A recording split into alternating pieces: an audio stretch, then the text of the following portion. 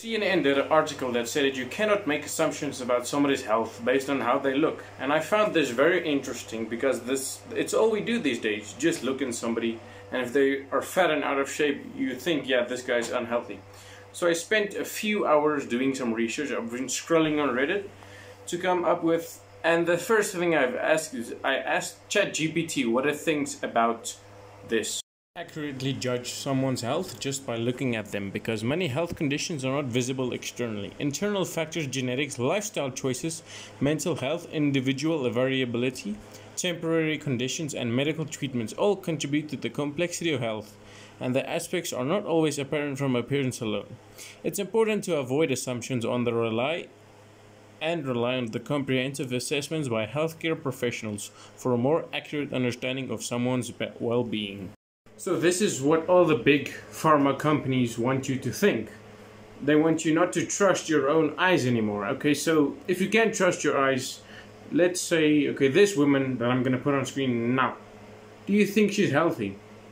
Yes or no, you can type it in the comments. Uh, turns out she had a podcast where you, she talks about fat promotants and it's okay to be fat and then she died. Was a senior lecturer at Massey University. Cat Pause, an academic whose research explored the impacts of fat stigma, has. A fat studies researcher, Pause's work focused on the well-being of overweight people and the effects of spoiled identities on their health.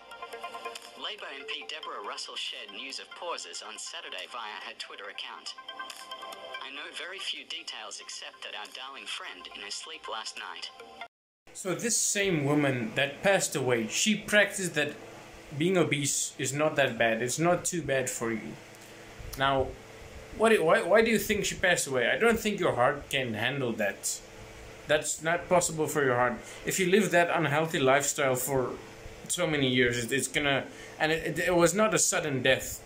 You can see it coming when you're that weight. That's not, that's not surprising at all. And That's not surprising at a very young age.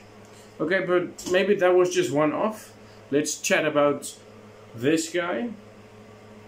You think he he also died at 33, a very young age. So it is it is it just your eyes or are these people because they're big they're dying? Is it is it because of that? So now I just have this one lingering question in my mind. Where where do these people or people like that how can they think that I am generally obese and that they should promote that? How how should you promote that? Fat and very sexy. And I am a hundred percent glorifying obesity. Diets are 95% failure rate. Why? What makes you think that oh I'm a very obese man.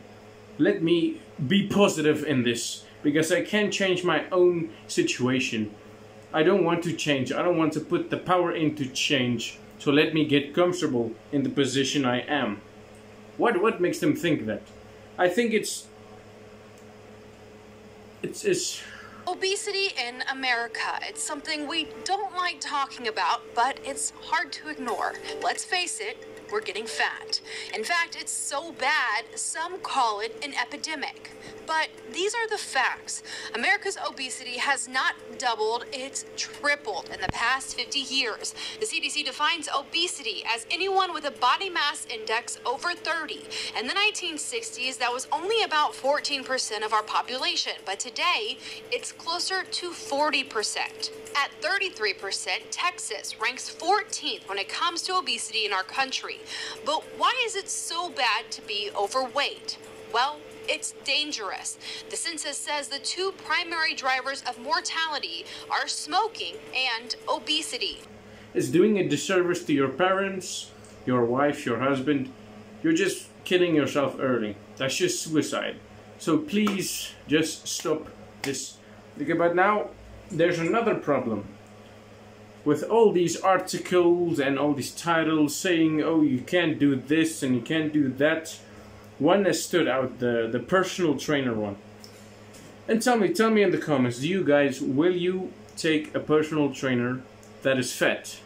Okay, so let me let me explain you my philosophy on this. it is not like that one meme in Avengers Endgame. I guide you to a treasure I cannot possess. This is not how that works. If you are a successful personal trainer, the first client you're gonna have is yourself. See, you are gonna test it on yourself, and if it doesn't work, why do you want to go to gym and tell Jimmy, hey, you should eat 600 calories over your maintenance to be, look like me, and then you look like shit. So get your don't get a fat personal trainer, get a personal trainer that's on steroids, jacked, because they probably know all the safety and everything. They probably know everything because they had to learn it to come get to that point. And even if they take steroids, you still have to do the work. You can't just sit on your ass and and steroids isn't the steroids is not gonna blow you up like a balloon. So that's that's what I, that's what I think about about the personal trainer thing. And I think if if you if you see a fat person in your gym and they're actively in the gym, they're trying to lose weight, you can go help them. Don't just stare at them, go help them. Everybody's watching this video. If you go into the gym somewhere, I don't care, and you see a fat guy, just go help him, go spot him, go make a friend. Please. Just help them out of the pit of despair that they're in. Thank you.